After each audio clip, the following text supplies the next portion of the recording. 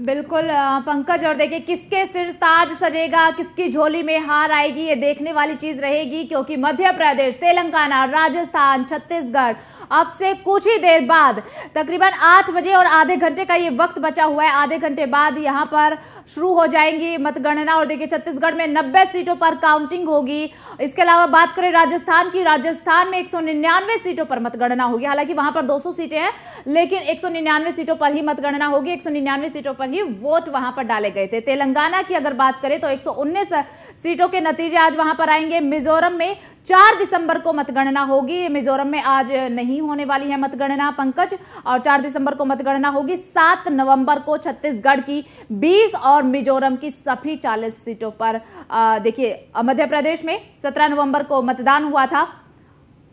इसके अलावा बात करें राजस्थान की तो राजस्थान में 25 नवंबर को चुनाव हुआ था। उसके अलावा आज नतीजों का दिन है। बात तेलंगाना की कर लेते हैं तो तेलंगाना में 30 नवंबर को चुनाव हुआ था। छत्तीसगढ़ में दो चरण में चुनाव हुए थे। बाकी जो भी तमाम राज्य तमाम राज्यों में एक एक चरण में ही चुनाव वहाँ पर संपन्न हो गया था। मध्य प्रदेश में 200 सीटों पर 230 सीटों पर मतगणना हुई थी। अब आज नतीजों का दिन है।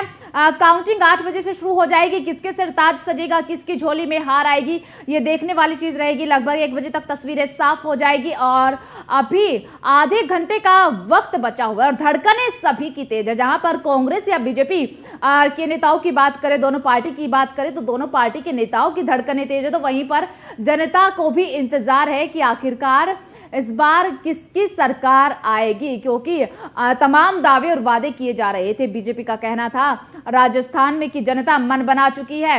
आ, इस बार बदलाव होगा। तो दूसरी तरफ़ अशोक गहलोत का साफ़ ये कहना था कि हमारी सरकार ने काम किया है इस बार रिवाज बदलेगा और कांग्रेस की सरकार रिपीट होगी। मध्य प्रदेश में अब कमल या कमलनाथ ये भी देखने वाली चीज़ रहेगी। मध्य प्रदेश में भी काफ़ी रोमांचक ये मुकाबला रहा है। कड़ी टक्कर देखने को मिली है। और पंकज देखिए जिस तरीके से आज नतीजों का दिन है और आधा घंटा लगभग बच चुका है पंकज और आधे घंटे बाद काउंटिंग शुरू हो जाएगी।